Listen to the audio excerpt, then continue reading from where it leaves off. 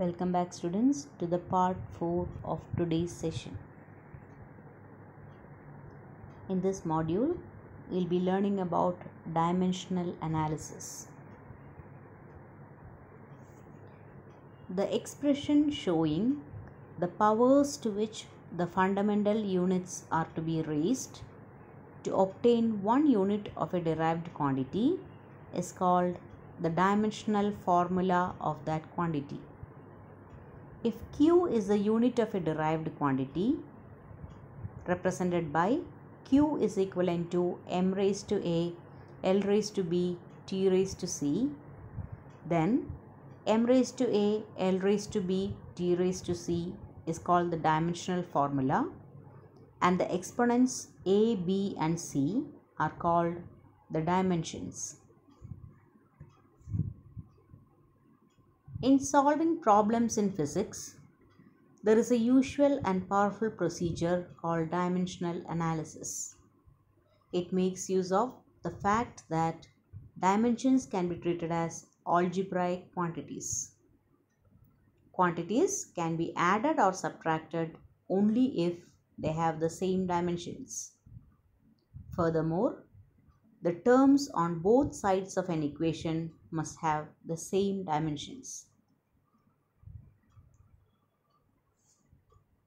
Dimensional analysis is the practice of checking relations between physical quantities by identifying the dimensions of the physical quantities. These dimensions are independent of the numerical multiples and constants and all the quantities in the world can be expressed as a function of the fundamental dimensions.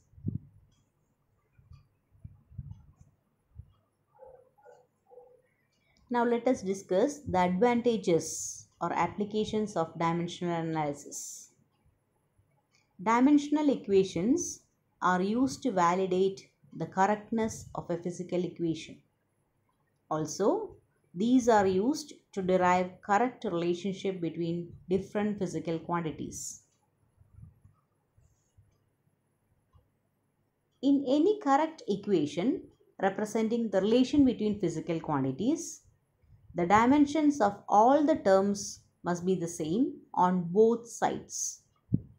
Terms separated by plus or minus must have the same dimensions and this is known as the principle of homogeneity of dimensions.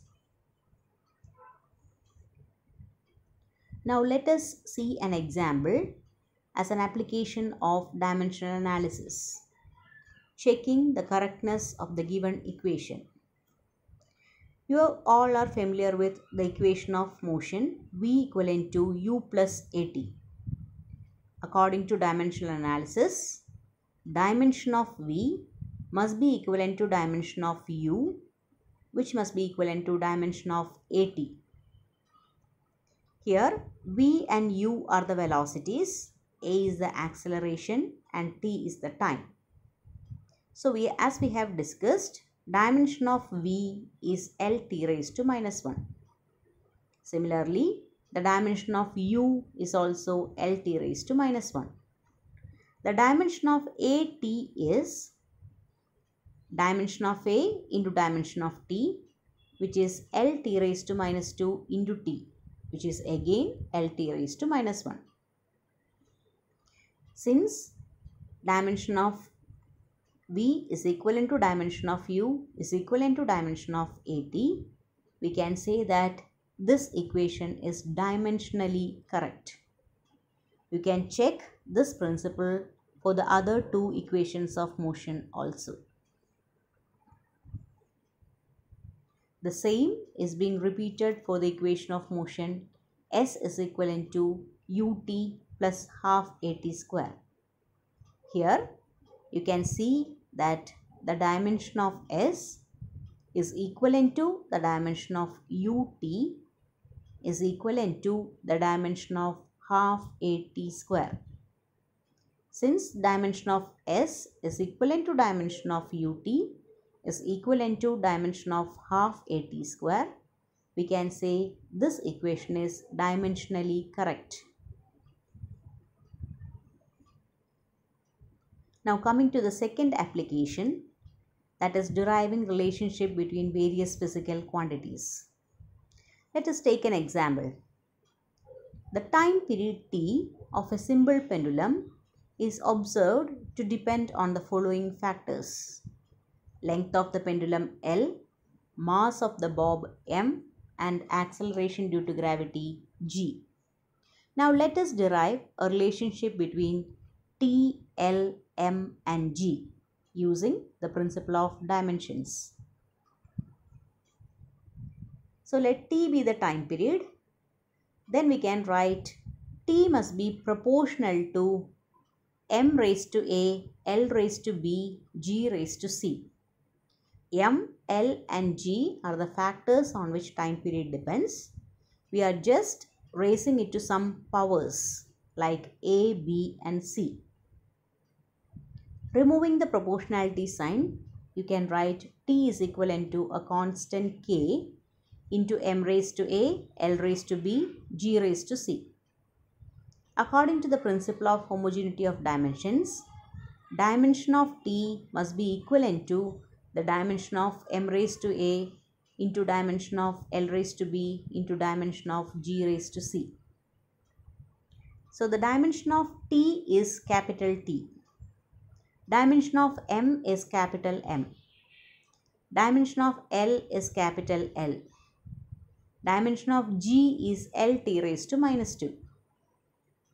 So we can write T is equivalent to K into capital M raised to A, capital L raised to B, LT raised to minus 2 raised to C.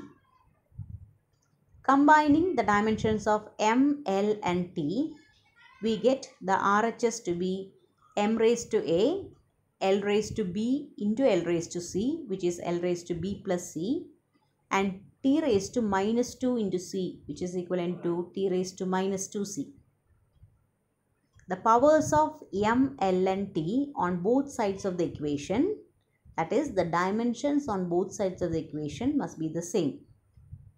So equating the powers you will get a is equivalent to 0 b is equivalent to half and c is equivalent to minus half. Substituting in our original equation, you will get t is equivalent to k into m raised to 0, l raised to half, g raised to minus half. Or t is equivalent to a constant into square root of l by g. Here the constant k is experimentally found out to be 2 pi. but there are some limitations for this method of dimensional analysis. Dimensionless quantities cannot be determined by this method and constant of proportionality cannot be determined by this method. They can be found either by experiment or by theory. And this method is not applicable to trigonometric, logarithmic and exponential functions. In the case of physical quantities, which are dependent upon more than three physical quantities, this method will be very difficult. Hope you have understood about dimensional analysis. Thank you dear students.